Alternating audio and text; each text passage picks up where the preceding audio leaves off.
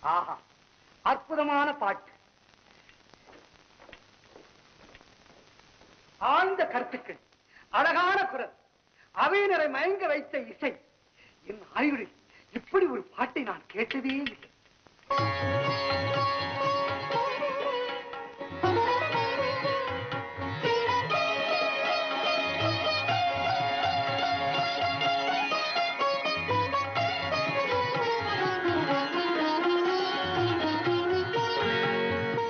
சக்கரவர்த்தியே தங்கள் பாட்டிற்கு என் நாட்டையே பரிசாக கொடுக்கலாம். ஆனால் நாடு என்னுடையதல்ல மக்களுடையது. நான் அவர்களின் பிரதிநிதி. ஆகவே என் அன்பு காணிக்கையாக இந்த பரிசை தாங்கள் ஏற்றுக்கொள்ள வேண்டும். பரகுணா. இந்த சாதாரணமான பரிசுக்காக நான் இங்கு பாட வரவில்லை. உன்னை போன்ற மன்னர்கள் எனக்கு கொடுத்த பரிசுகளை எல்லாம் ஒன்றாக சேர்த்தால் அதில் பத்தில் ஒரு பங்கில்லை உன்னுடைய இந்த பாண்டிய நாடு. ஆனால் உனக்கு மகுடம் இருக்கிறது? எனக்கு அது இல்லை. அது ஒன்றுதான் உனக்கும் எனக்கும் உள்ள வித்தியாசம். பிறகு நான் ஏன் பாடினேன் என்று கேட்கிறாயா?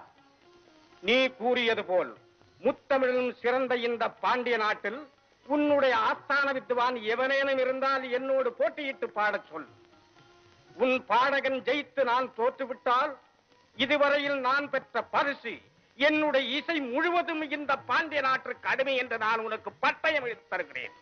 அதற்கு மாறாக உன் பாடகன் தோற்று நான் ஜெயித்து விட்டால் என்னுடைய பாட்டுக்கு இந்த பாண்டிய நாடை அடிமை என்று நீ எனக்கு எழுதி தர வேண்டும்.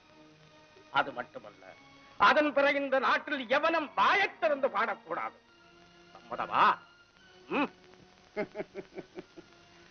தங்கள் பாட்டை கேட்கத்தான் நாங்கள் எல்லோரும் தயாராக இருந்தோமே தவிர இப்படி ஒரு கூறுவீர்கள் என்று எதிர்பார்க்கவே இல்லை. இருப்பினும் பாண்டிய நாட்டு பாடகர்கள் இசையில் இணைத்தவர்கள் அல்ல. ஒரு நாள் அவகாசம் கொடுங்கள்.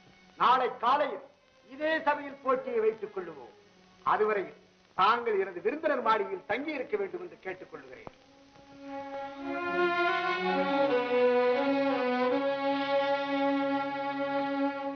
ஆஸ்தான பாடகர்களே உங்களில் யார் ஹேமநாதருடன் போட்டிக்கு பாடப்போகிறீர்கள் என்று முடிவு பெற்று விட்டீர்களா மன்னா யார் பாடப் போகிறீர்கள் என்று கேட்பதை விட யார் உயரை விட போகிறீர்கள் என்று கேட்பது சாலச் சிறந்தது. ஹேமநாதருடன் போட்டியிட்டு பாட எவரால் முடியும் வேந்தே? அரசவர்மன் தங்கள் கட்டளைக்காக பாடி தோற்று எங்களால் இந்த பாண்டிய நாடு இசையில் இன்னொருவருக்கு அடிமையாவதை விட நாங்கள் இறப்பது மேலல்லவா?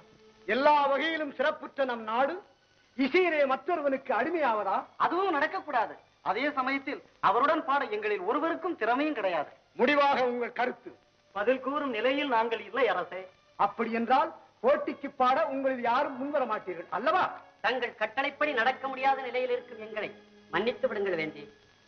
பாண்டிய நாட்டுக்கு இப்படியும் ஒரு சோதனையா? ம் சரி.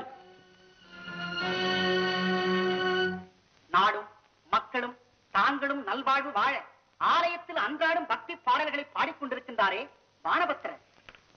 அவரை போட்டிக்கு பாடச் சொல்லலாம். வானபத்திரரா? அமைச்சரே அவர் பக்தி பாடல்களை நன்றாக பாடுவாரே தவிர சங்கீதத்தில் மேதை அல்லவே. மன்னர் மன்னவா வந்திருக்கும் ஹேமநாத பாகவதர் சங்கீதத்தில் என்னதான் மேதையாக இருந்தாலும் அவரிடத்தில் ஆணவம் இருக்கிறது. நமது பானவத்திரர் இசையில் தேர்ச்சி பெற்றவராக இல்லாவிட்டாலும் இறைவனின் அருள் அவரிடம் நிறைந்திருக்கு ஆகவே அருள் ஆணவத்தை வென்றுவிடும் என்று என்னுள் தோன்றுகிறது. எதையோ செய்யுங்கள் என் மனம் ஒன்றும் சரியில்லை. காவல உடனடியாக சென்று நமது பானவத்தனரை மன்னர் அழைப்பதாக அழைத்துவார்